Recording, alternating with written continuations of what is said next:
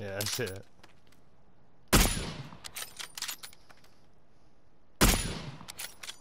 Shoulder fire.